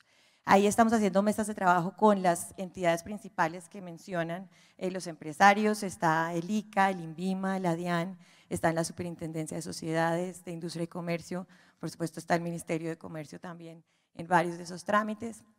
Em, nuestro objetivo es semana a semana ir reportando cómo vamos avanzando en esa intervención de trámites. Si ustedes oyeron, la semana pasada lanzamos como, como el primer cierre eh, de la primera semana, lo lanzó el presidente, ahí contamos sobre los 14 trámites que ya intervinimos durante esa semana. Eh, esta semana, pues ahorita más adelante vamos a anunciarles también eh, cuáles son los trámites que hemos intervenido durante, durante la semana anterior. Y pues la idea es seguirles a ustedes reportando y, y contándoles cómo estamos comprometidos con, con esta labor de hacerles pues más fácil la vida a los empresarios, que debe ser pues uno de nuestros principales retos en el ministerio. Muchas gracias. Como ustedes saben, una de, los, de las ventanillas únicas que, que ha funcionado y que vamos a trabajar para en una segunda etapa es la ventanilla única de comercio exterior. Sin embargo, este año lanzamos una que es la ventanilla única empresarial. Entonces, viceministro Daniel, ¿por qué no les cuenta qué es esa ventanilla única empresarial? Pues, ministra, en, la misma lógica de lo que hablaba Paula, ahorita y es que debemos buscar la manera de hacerle más fácil la vida a los empresarios y a los emprendedores para crear empresa. Eh, llevamos cuatro años de trabajo con el Banco Mundial y con las cámaras de comercio para unificar en un solo, en un solo lugar eh, físico y en un solo lugar virtual todos los trámites que requieren los emprendedores para crear empresa. Es decir, que a partir de diciembre eh, se hará el lanzamiento de la ventanilla única empresarial, que lo que permitirá no es otra cosa más que eh, hacer que los empresarios puedan dirigirse a un lugar, por ejemplo, para eh, crear, sacar su registro mercantil, pero también para tramitar sus impuestos, para tramitar eh, todo lo que tiene que ver con la seguridad social de sus trabajadores. De esta manera, lo que queremos es que los empresarios pues tengan eh, una vida mucho más sencilla, unos trámites mucho más sencillos dentro de toda esta lógica de menos trámites más simples. Muchas gracias, viceministro. Y otra pregunta, digamos, en estos meses nos hemos concentrado mucho en el tema de contrabando y en especial en apoyar al sector de textiles y confecciones. Eh, ¿Por qué no nos cuenta brevemente qué hemos logrado y qué son todas esas actividades y esos decretos que hemos sacado en estos temas? Bueno, ahí eh, debo contar que han sido unos eh, tres, cuatro meses muy intensos de trabajo eh, con diferentes entidades del gobierno nacional que tienen que ver con el control del contrabando, la UIAF, que es la Unidad de Lavado de Activos, la DIAN, eh, la Policía Fiscal y Aduanera. Eh, con ellos estamos haciendo un comité de alto nivel de seguimiento, de microgerencia a todos todos los eh, operativos que tienen que ver con la lucha anticontrabando, estamos recibiendo información de los empresarios porque, como usted bien lo ha dicho, ministra, eh, tenemos que ser verdaderamente eficaces en la lucha anticontrabando, tenemos que ser implacables en la lucha anticontrabando y los resultados se han empezado a ver, como usted anotó en el caso de Buenaventura de la semana pasada, 130 contenedores eh, que han sido aprendidos ya en el puerto de Buenaventura, seguramente de contrabando que pretendía abastecer el mercado nacional para la época de diciembre, con un foco muy puntual en el sector de textil y confecciones, porque creemos que ahí hay que hacer un esfuerzo aún mayor. En el ocurrido del año llevamos 100 operativos eh, de lucha anticontrabando, hemos aprendido mercancía por más de 130 mil millones de pesos, luego eh, la lucha anticontrabando tiene que ser una bandera del gobierno nacional y eh, no estamos dispuestos a desfallecer en esa lucha y tenemos que ser cada vez más contundentes, cada vez más rigurosos para que el contrabando no inunde al país y no afecte a los empresarios de, bien. Bueno, y finalmente, viceministro, un tema muy importante que ha trabajado este ministerio es el tema de inclusión productiva con las víctimas, pero ahora tenemos una gran oportunidad que son las SOMAC, que son las zonas más afectadas por el conflicto en la que la verdadera consolidación de la paz es cuando logremos ese desarrollo económico y social en esas zonas, en las zonas más afectadas por el conflicto, donde tenemos que buscar el desarrollo empresarial. Eh, entonces, ¿qué estamos haciendo en la inclusión productiva y cuáles son esos retos y cómo invitar a los empresarios a que aprovechen esos incentivos tributarios, tanto en turismo como en, en empresa y en industria, para que inviertan en esas zonas más afectadas por el conflicto, que son más de 344 municipios de este país.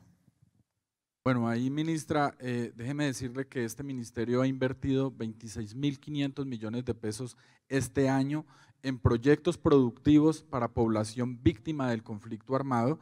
Tenemos algunos proyectos especiales que vale la pena mencionar, como el de microfranquicias, y ahí lo que hacemos es entregarle un modelo de negocio, un pequeño negocio a una persona víctima de la violencia para que él se convierta en, empresario a través de una asistencia técnica en un modelo de negocio ya aprobado en el mercado que le permite minimizar los riesgos a la hora de emprender.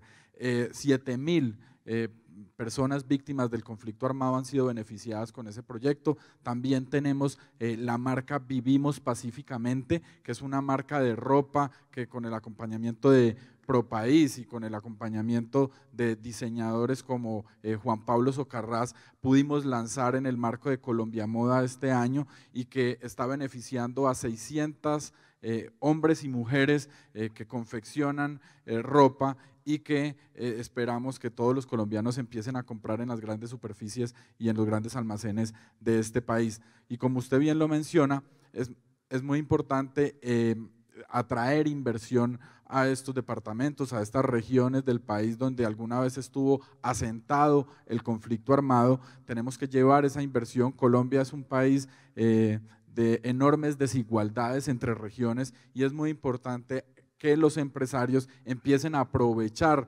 esos eh, beneficios que, trae la ley en materia de renta, por ejemplo, para que eh, sus proyectos productivos los desarrollen en esas regiones y de esa manera podamos, mm, digamos, conectar a las regiones de la SOMAC con el resto del país. Bueno, muchas gracias y hablando de vivimos, vivimos pacíficamente, los invito a ver este video.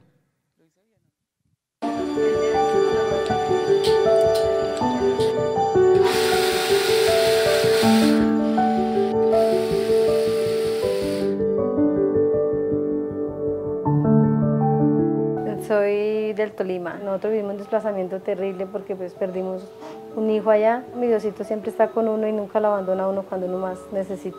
Nosotros fuimos víctimas allá de la guerrilla y entonces nos tocó desplazarnos hacia, acá a Bogotá. Por medio de la unidad uno se capacita, le meten mucho que ser uno empresario es bueno, que unirse, que esto y lo otro. Y entonces pues de ahí fue donde le empecé a coger como amor a la, a la confesión. Compré la primera máquina, ya la segunda máquina me la dio al Sena, la tercera ya me la, por Arturo Tejacano también me dio dos máquinas. Y ahí empecé así a crecer mi empresa. En el año 97 me fui a prestar servicio y fui secuestrado por la guerrilla tres años. La precooperativa se creó en agosto del 2015. Eh, ha sido un trabajo arduo, pero se han visto los resultados. Eh, a mediados del 2016 eh, creamos nuestra propia marca, se llama Vivimos Pacíficamente. Ya a finales de 2016 hicimos la segunda presentación como tal de, de la marca. como también teníamos nuestro espacio de ventas, estuvo el gobernador, estuvo el presidente, no, eso, eso fue muy, muy sorprendente pues para nosotros y también estuvimos detrás de bambalinas esperando para la pasarela que también eh, cuando salimos a, desfilar eh, la cantidad de gente era bastante y bueno, fue una experiencia muy chévere.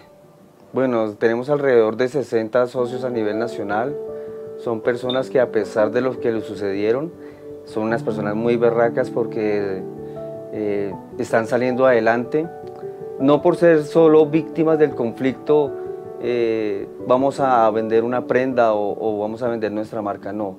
Nosotros también como cualquier otra empresa vendemos calidad y, vendemos eh, una imagen de personas que superan los inconvenientes de la vida. Yo creo que lo más importante es tomar la decisión y arriesgarse.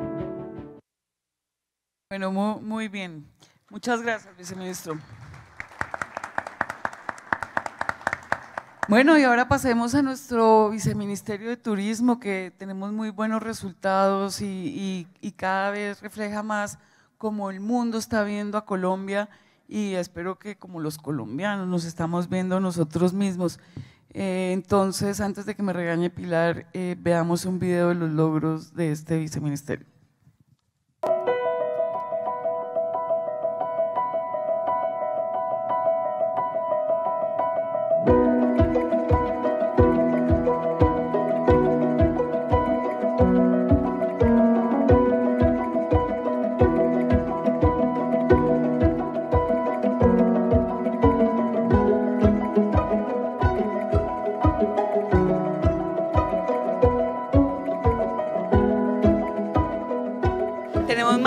50 destinos, estamos lanzando 11 rutas turísticas por todo el país, tenemos oferta de hoteles, transporte, recreación, gastronomía, entonces es la oportunidad de que todos salgamos a conocer Colombia.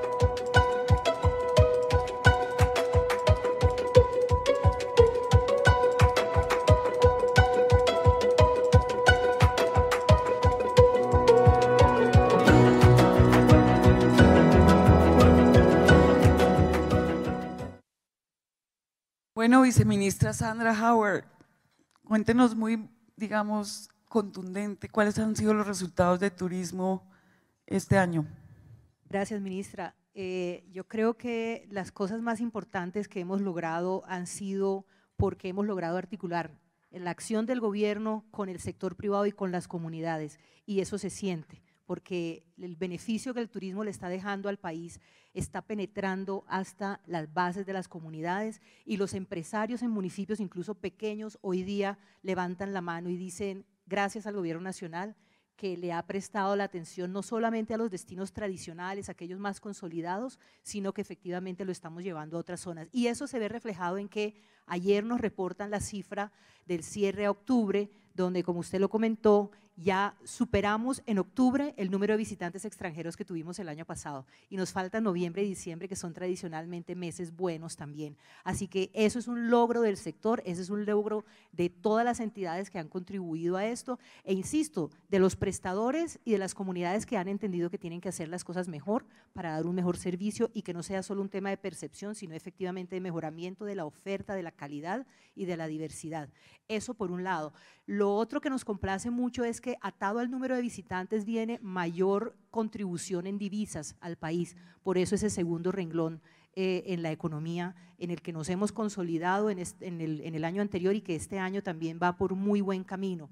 Creo que eso se refleja en el hecho de que cada vez más en el país tenemos presencia de las mejores marcas internacionales en hotelería, las aerolíneas del mundo quieren aterrizar en Colombia y no porque Colombia les esté subsidiando esos puestos o esas, eh, llegadas a nuestro aeropuerto, sino porque se han dado cuenta que las oportunidades de negocio están aquí y que el mundo quiere venir a conocer Colombia.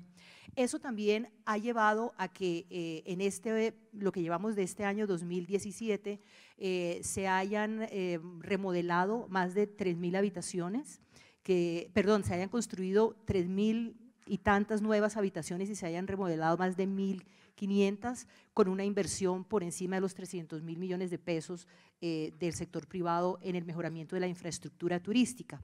Y por supuesto, eh, el hecho de que hoy día Colombia es el referente como el el, nuevo lugar que hay que conocer en el mundo, no dicho por los colombianos, que eso es fácil, sino dicho por los medios especializados de nivel internacional, Condé Nast Traveler, eh, el Fromers, la guía de Fromers, que es de un reconocimiento internacional, Lonely Planet, The Economist, New Yorker, o sea, los grandes medios de comunicación del mundo están poniendo a Colombia como el nuevo sitio que hay que conocer en este año que viene. Eso creo que habla muy bien de cómo, cómo estamos mejorando en turismo en el país, ministra. Bueno, mi viceministra, y hablamos de que Colombia es el segundo país más biodiverso del mundo. ¿Cómo estamos aprovechando esa biodiversidad para promover el turismo? ¿Qué le podemos contar a los colombianos para que conozcan esa biodiversidad que tenemos? Efectivamente, Colombia tiene el privilegio de ser uno de 17 países megadiversos que existen sobre el planeta. Eso es un gran privilegio. Fuera de eso, somos el segundo más biodiverso después de Brasil por kilómetro cuadrado. Queremos que los colombianos sepan se enteren y se enorgullezcan de que somos el país número uno en riqueza de especies de aves. Tenemos 1.921 especies que eran las identificadas hasta el año pasado, ministra, pero esa cifra va a crecer porque ahora con el posconflicto y las exploraciones que se están haciendo en muchas áreas naturales donde antes no estaba llegando la investigación científica, ya está permitiendo identificar nuevas especies, o sea que ese número puede seguir creciendo.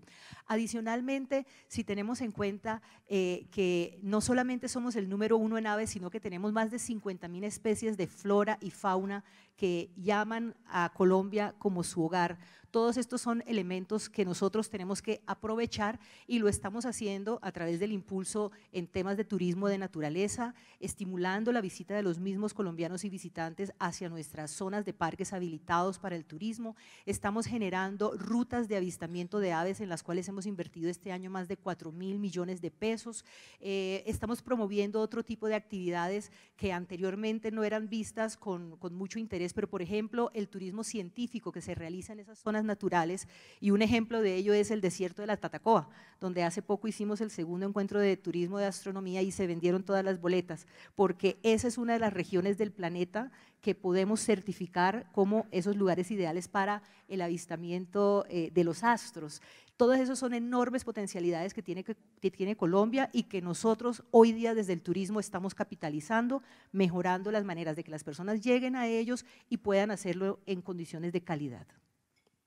Bueno, viceministra, y con esta oportunidad del fin del conflicto, ¿qué, destinos nuevos estamos promocionando y a dónde podemos invitar a los colombianos y extranjeros a que conozcan sitios diferentes?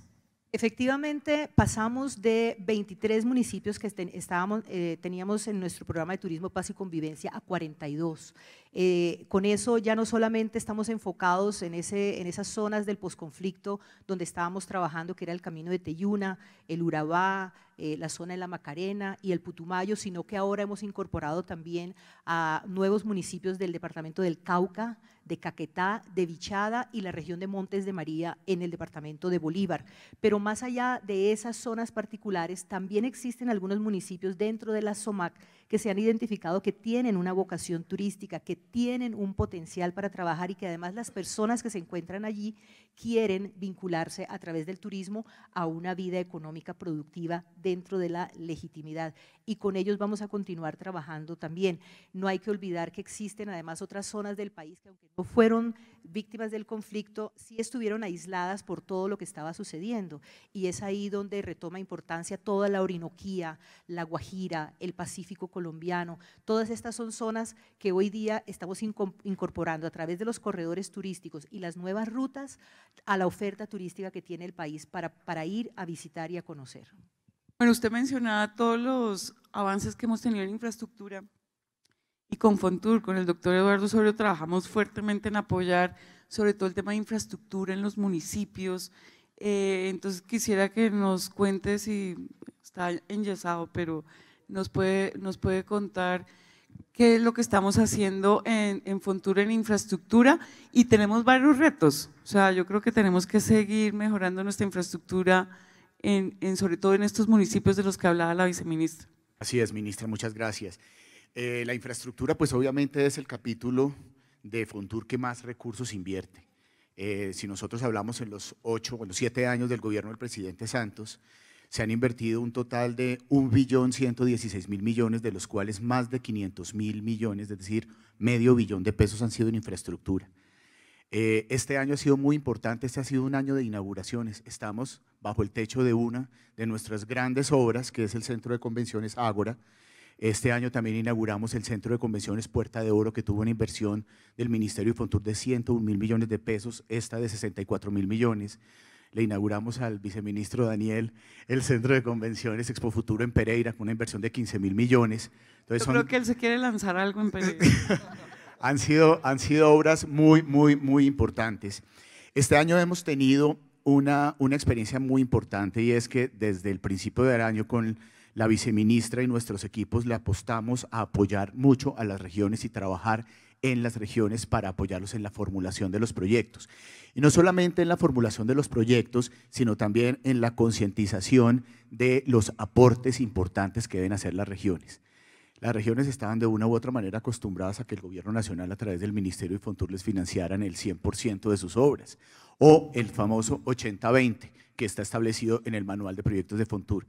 Este año encontramos ejemplos muy importantes precisamente de ese trabajo que hicimos con las regiones, eh, con recursos ya no del 20%, sino unas incluso el 50% aportaron.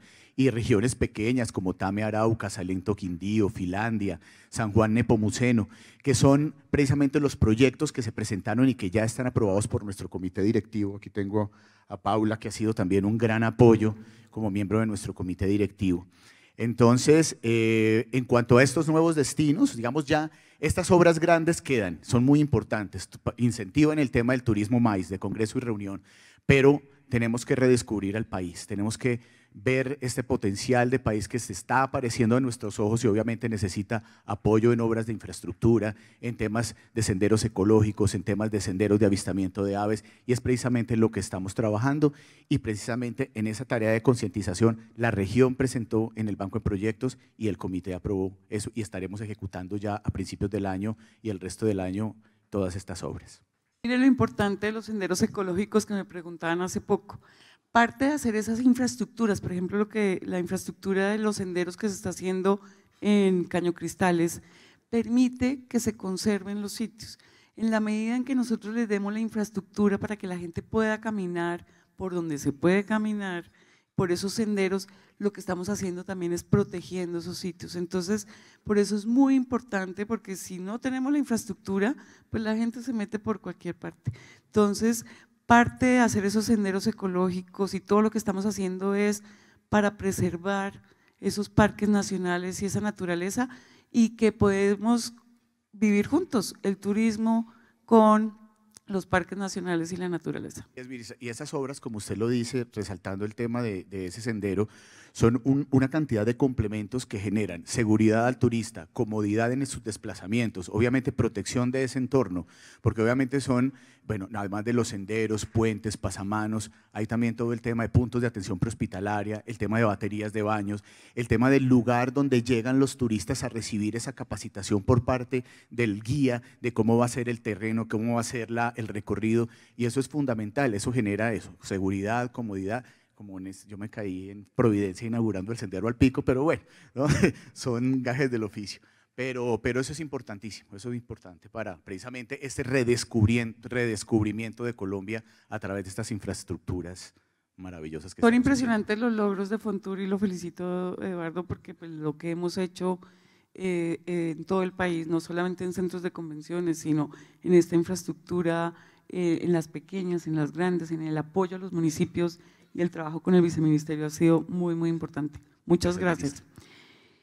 Em, viceministra, en ese tema de formalización, porque yo creo que parte de los retos que tenemos y que lo hemos hablado con Paula y con Claudia y con muchos en, en nuestros comités de turismo es cómo logramos que primero cada vez se creen más empresas, pero más empresas formales y que trabajemos en el tema de calidad.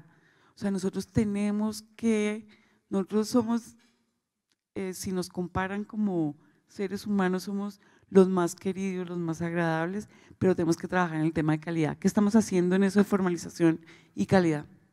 Así es, ministra. Ese es uno de nuestros retos muy grandes porque efectivamente la parte de, las obras, los eh, metros cúbicos de cemento, ahí están, pero el capital humano es esencial para la industria, porque esto es de servicios. Además, esta es una manera de exportar servicios también. Esto es como creo que la cuarta categoría la llaman de exportación de servicios. Y si no lo hacemos con calidad, pues no, no estamos sembrando para el futuro. En ese sentido, el trabajo de este año ha sido también intenso, igual que el año anterior, generando una cultura de la calidad, por un lado, y por el otro lado, la, la cultura de la formalidad. Y eh, es, es, a veces complejo hacer entender a ese pequeño empresario que nació de manera empírica, porque en muchos de nuestros municipios la actividad turística surgió así, surgió por la demanda, no porque alguien planeó, programó, decidió formar una empresa para eso, sino que se le fue dando de manera espontánea. Y llevar a esas personas que estaban acostumbradas a hacer las cosas de una manera a un cambio de hábito y a entender que hacer las cosas de la manera correcta, como se la indicamos con las normas de sostenibilidad o de calidad, es en últimas para su propio beneficio, es un proceso, no sea de un día para otro, pero lo estamos logrando. Este año ya hemos logrado formalizar 5 mil nuevas empresas en el sector turístico. Eso es 13% prácticamente de lo que llevábamos al año pasado a esta época. Adicionalmente de la formalización, de la pedagogía, de la sensibilización, del fortalecimiento empresarial que hemos estado haciendo a lo largo de todo el año con el equipo del ministerio, eh, viene también una tarea de corregir los errores que encontramos. Entonces ahí se hacen las brigadas de verificación de la formalidad, para lo cual el, trabajo con la Policía de Turismo ha sido esencial. El nuevo Código de, Policía nos dio herramientas para poder actuar de, una manera mucho más efectiva y rápida, porque las solicitudes de cierre se nos estaban quedando en las alcaldías y no procedían. En cambio, con la Policía y las entidades que nos acompañan en esta tarea estamos llegando y de 11.600 visitas aproximadamente que hemos hecho este año, el 10% han terminado en cierres o en investigaciones. Quiere decir que sí estamos teniendo ya un impacto efectivo en las regiones y eso a su vez redunda en que el 10% está buscando la formalidad porque saben que tiene consecuencias también, que así como les enseñamos lo bueno de formalizarse, si no lo hacen también tiene consecuencias. Y de esa manera estamos combatiendo pues el gran flagelo de eh, la informalidad que equivale al contrabando para la industria, la informalidad es, el contrabando para nosotros y es la manera como lo venimos abordando. Eh, la tarea es muy grande y hay mucho más por hacer sin lugar a duda, pero eh, con algunos instrumentos que hemos implementado, como le decía, el trabajo con la policía, la muestra maestra que estamos haciendo en los territorios para identificar y georreferenciar dónde están los empresarios formales y no formales, va a facilitar que podamos ser mucho más efectivos también en esas visitas de verificación que esperamos poder continuar haciendo el próximo año con el refuerzo al equipo de trabajo que se le ha dado desde el ministerio. hablando de la policía, yo quiero agradecer acá al gran compromiso de la Policía Nacional con el tema del turismo y, cuéntenos cómo se ha incrementado el tema de los cuadrantes, los policías de, eh, eh, mucha gente todavía dice que le da susto salir a estos municipios que estamos promoviendo. Entonces, ¿qué estamos haciendo con, con la policía en temas de turismo? Ministra, este año eh, estamos trabajando más estrechamente que nunca con la Policía Nacional y con la Dirección de Protección que tiene a su cargo la Policía de Turismo. Acabamos de lanzar hace 15 días o 10 días 159 eh, cuadrantes turísticos seguros con el apoyo de la Policía Nacional, personal especialmente focalizado en esos, en, esas, en esos sectores donde hay alta actividad turística para tener una capacidad de respuesta inmediata, con la dotación adecuada, con una identificación que le da la tranquilidad al turista de saber quién es el policía de turismo y que pueda acudir a él ante cualquier situación que se le presente.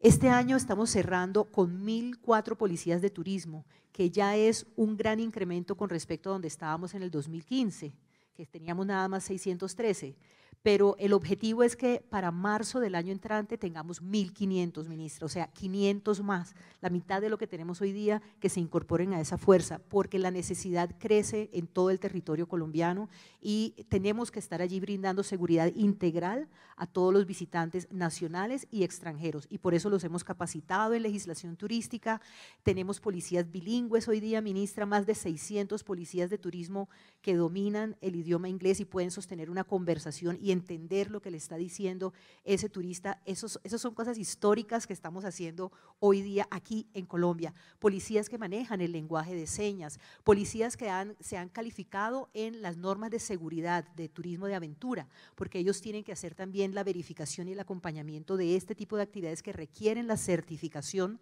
para poderlas desarrollar.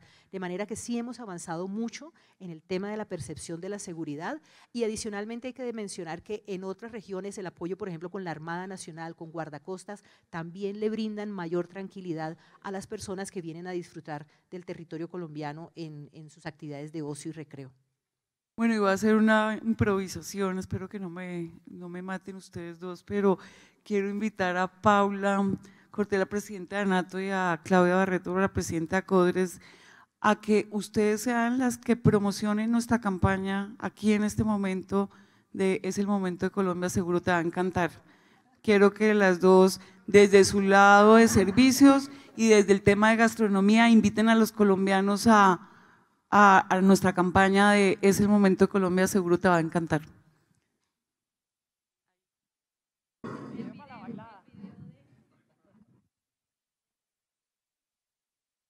Ministra, muchísimas gracias. Saludos a todos.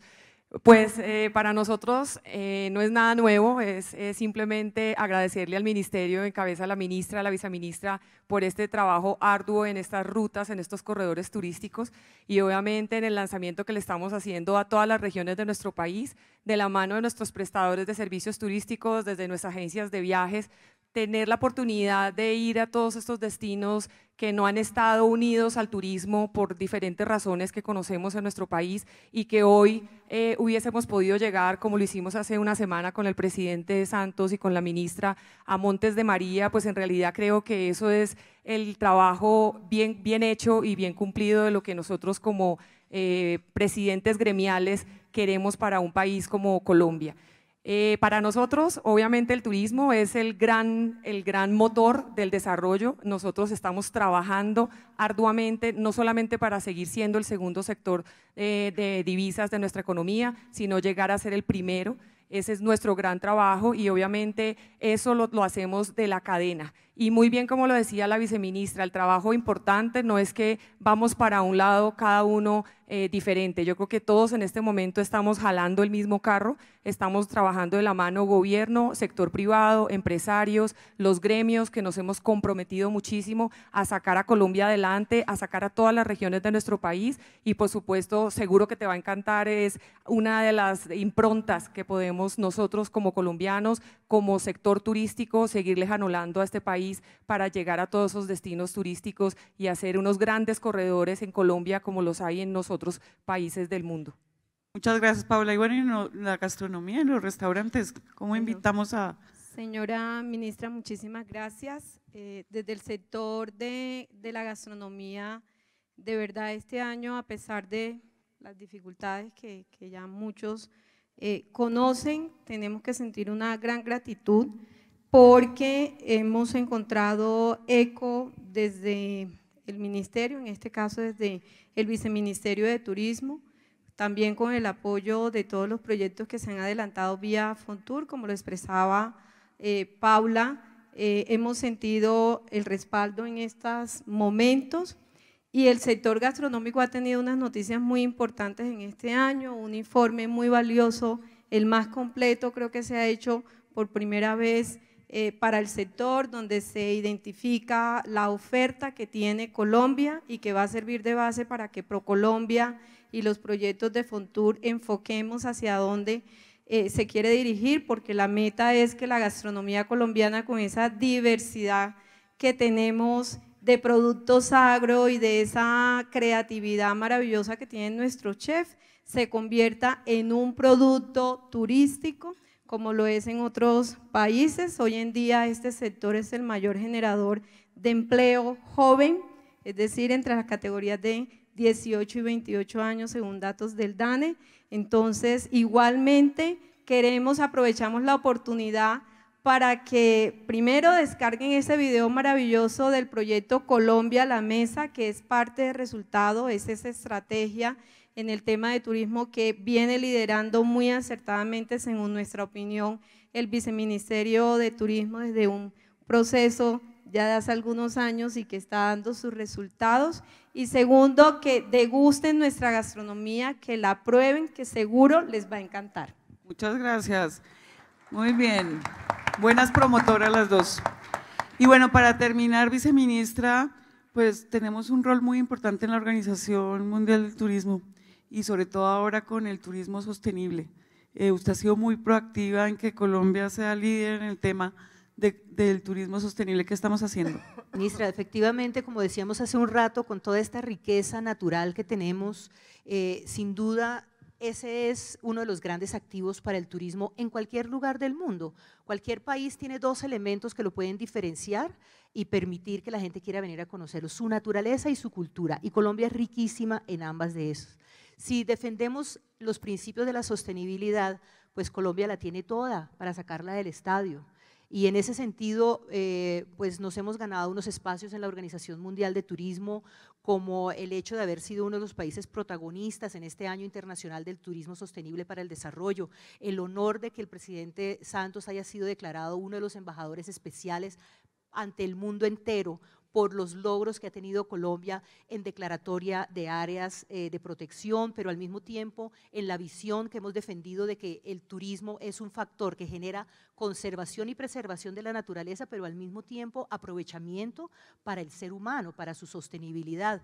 Eh, adicionalmente, somos pioneros en América Latina en promover la implementación de las normas de sostenibilidad como un elemento para la formalización de los prestadores de servicios turísticos, pero no lo hemos hecho simplemente para imponer un nuevo requisito a los prestadores, sino que les hemos facilitado la manera de hacerlo a través de la plataforma de, certificación calidad turística.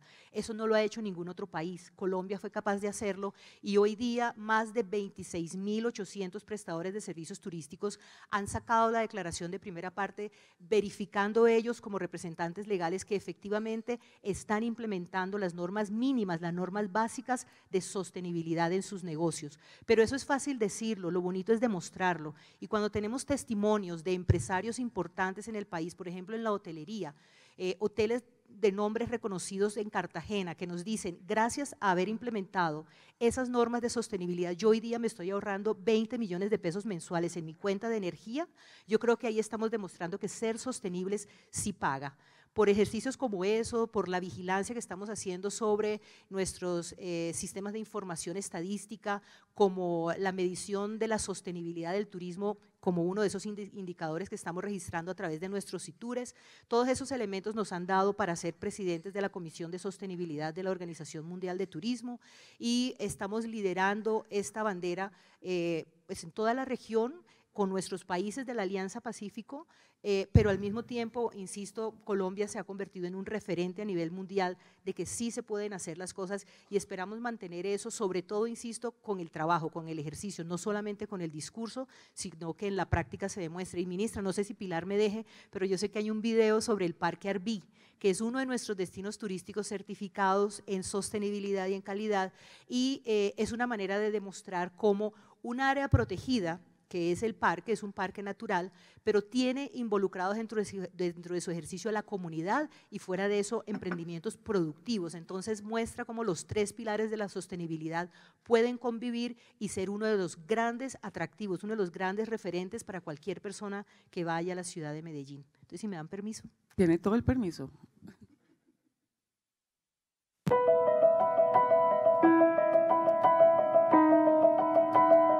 Yo vivo el turismo y para mí lo mejor es el turismo.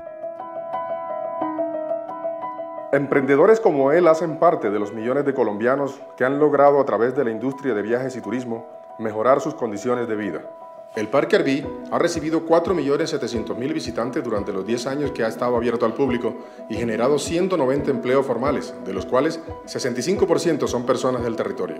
Hemos avanzado significativamente para que los proveedores de los servicios turísticos sea la comunidad. Estaríamos hablando más o menos de unas 500 o 600 personas beneficiadas. Mi unidad productiva es de miel de abejas y vino de miel de abejas. La parte económica es buena porque de alguna manera se puede ir vendiendo el producto a todos los eh, turistas. Tenemos la casita. Esta mesa me dio la casa para vivir con la familia dignamente.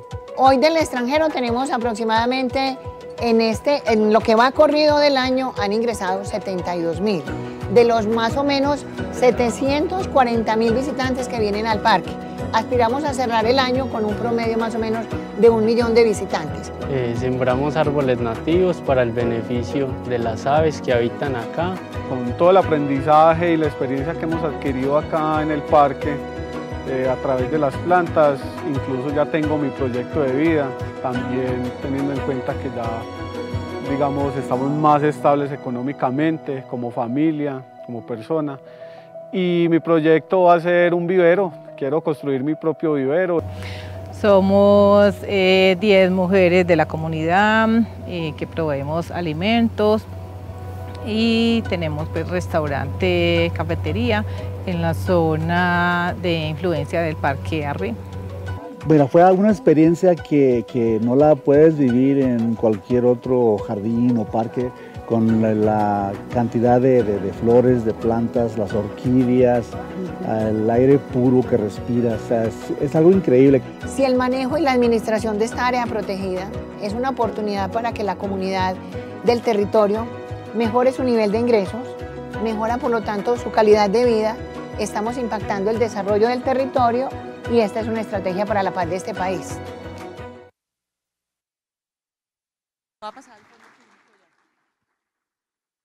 Bueno, muchas gracias, muy bien, y hay que seguir trabajando en este tema de turismo sostenible. Eh, para cerrar esta parte, digamos, de contenido, ahora le doy la palabra a Santiago, nuestro secretario general. Invité a Claudia Triana, la doctora Claudia Triana, que es la que maneja nuestro fondo fílmico. Esta es una ley que fue aprobada en este gobierno, en la cual nosotros hacemos parte de ese comité y, y la quise invitar porque me parece que es una forma, primero, de atraer industria, de promocionar el país, de generar empleo. Entonces, en un minutico, si quieren, nos cuenta y vemos el video, eh, porque ya estoy llegando casi a al, al final de esta rendición. Bienvenida, Claudia.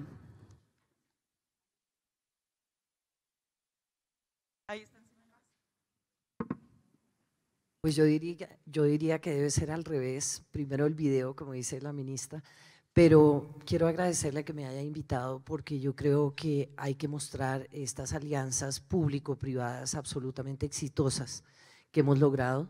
Esta es una ley que se aprobó en el año 2012, que se implementó en el año 2013 y que en estos cuatro años ya hemos logrado eh, tener una inversión en el país por parte de las producciones internacionales y nacionales que han eh, logrado cambiar eh, el conocimiento y la manera de trabajar del talento colombiano, de nuestros eh, exportadores de servicios cinematográficos y audiovisuales y también ha contratado más de 16 mil empleos, ha comprado cerca de 50 mil noches de hotel eh, porque vamos muy de la mano del turismo, aunque cuando se va a filmar una película del turismo es casi un estorbo, eh, sí tenemos eh, una cantidad de locaciones, un país secreto que por, justamente por el conflicto prácticamente no se venía a filmar al país.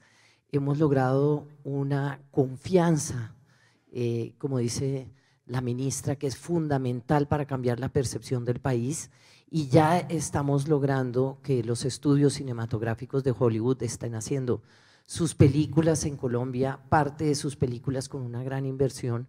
Y pues ya hemos tenido eh, personas que tal vez les suene a ustedes como eh, Tom Cruise, como Javier Bardem y Penélope Cruz también, eh, como Will Smith que vamos a tener próximamente en uno de los proyectos que se aprobaron justamente ayer eh, con la ministra eh, en, el comité que dirige este Fondo Fílmico Colombia. De manera que creo que el video les va a decir eh, más datos sobre esto en este minuto que me dieron. Espero que lo haya complementado y muchas gracias porque nosotros somos nuevos en este sector. Seguramente no nos habían visto, pero en cuatro años hemos logrado la misma cantidad de inversión que hemos logrado en 15 años en el Fondo para el Desarrollo Cinematográfico. De manera que es una, un, un punto muy importante y por cada peso que está invirtiendo el, el gobierno nacional, tenemos 3.3 eh, que están llegando del exterior y no son pesos sino dólares. Bueno, gracias. Muchas gracias, Claudia, felicitaciones. De verdad, este es un sector que podemos promocionar mucho más. Veamos el video. La ley 1556 es una ley que pretende promover el territorio colombiano como escenario de filmación. Shooting in Colombia is something that I would encourage a lot of people. It's beautiful here. Como la canción es alucinante. Found, let's say, downtown Bogotá to be incredibly cinematic and really inspiring. Everywhere you look, it is, uh, it really is spectacular. What drove us here was the rebate. Wherever we look to shoot, we, we try to find the support of the community and the film commissions to make the films. And we, I, I know we wouldn't be here without it. Todo lo que soñaba de guión lo encontré.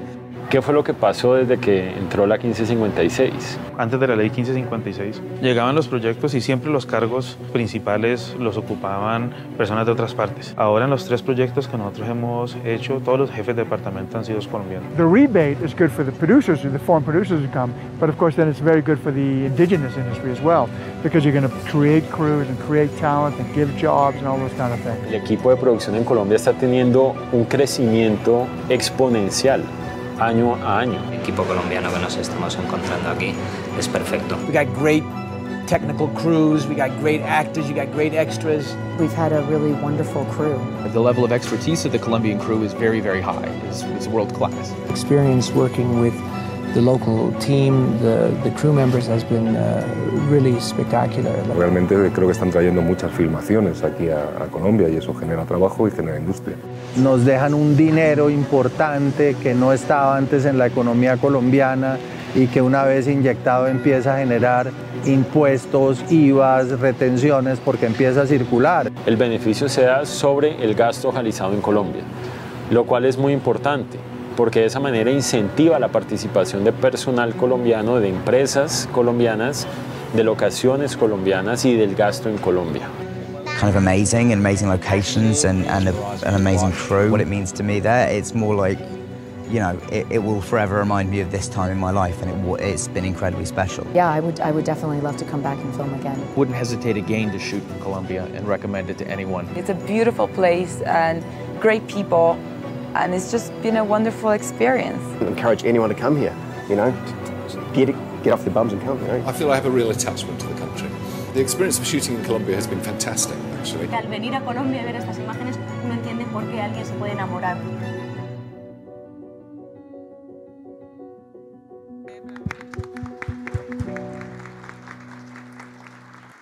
Quedó espectacular el video, Claudia, felicitaciones. Muy bien, esta es una cosa que tenemos que fomentar mucho. Y bueno, para terminar, vamos a cumplir ya las dos horas, que era exactamente el tiempo previsto. Nos gusta ser cumplidos y prometer el tema. Santiago, cuéntenos por qué esta labor de la Secretaría General y de toda la gente que trabaja en la parte administrativa y financiera a veces es silenciosa. Los colombianos no saben y la verdad eso es fundamental. Bueno, ¿qué estamos haciendo en el Ministerio para el tema de la eficiencia, para, para ahorrar costos, para la austeridad y, el tema de también atender las quejas y reclamos de cualquier ciudadano que nos busque en el ministerio? Bueno, ministra, muchas gracias. Eh, le cuento una buena noticia. Nosotros vamos a llegar ahorita al cierre del año a una ejecución del 99% de los recursos de inversión. Eh, pues esos son los recursos con los que se ejecutan. Y vamos a pasar en verde, que eran los taleros que yo manejaba en exactamente, la. Exactamente, por eso le, tengo, le tenía esa buena noticia, eh, para apoyar pues toda la gestión que eh, hacen los viceministerios. La eficiencia realmente la hemos logrado a través de la tecnología. Contamos con un área de tecnología muy fuerte. El ministerio ha liderado diferentes procesos eh, de sistematización de los procesos internos. Al tener los procesos internos sistematizados, somos mucho más eficientes con nuestros funcionarios para que puedan cumplir con su objeto misional. En el tema de atención al ciudadano, también hicimos un trabajo este año que fue canalizar eh, todas las acciones en un solo canal. Antes teníamos dispersas las comunicaciones, las teníamos por viceministerios, por áreas, y eso dificultaba la atención al ciudadano.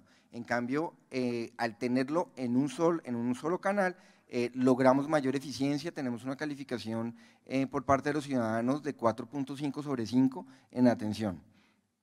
Y quiero aprovechar este momento antes de preguntarle qué estamos haciendo en Capital Humano para decir gracias. Gracias a todos los funcionarios de este sector, a, a todas las personas que trabajan en las entidades adscritas, en el ministerio, porque todos estos logros son de ustedes. Eh, nosotros aquí solamente estamos representando lo que ustedes hacen día a día y quiero que les demos un gran aplauso a todos los funcionarios de este sector.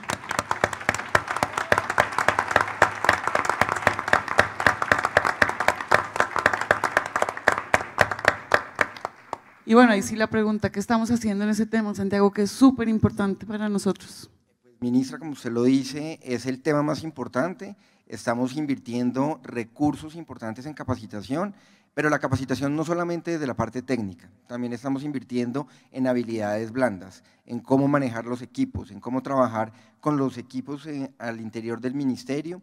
También hemos desarrollado un tema de innovación para el manejo de las relaciones y del clima laboral, en donde las áreas, en donde cuando presentan dificultades, eh, nosotros intervenimos para apoyarlos y poder solucionar los problemas. Igual eh, con el sector, también estamos trabajando en un proyecto de innovación en donde estamos sacando eh, mm, proyectos que mejoran los procesos internos del sector comercio, industria y turismo, no solamente del ministerio, sino del sector, y eso va de la mano del talento humano. Muy bien, muchas gracias. Bueno, yo creo que para finalizar podemos recibir una o dos preguntas eh, del público de la gente que nos ha escrito por Twitter y por Facebook.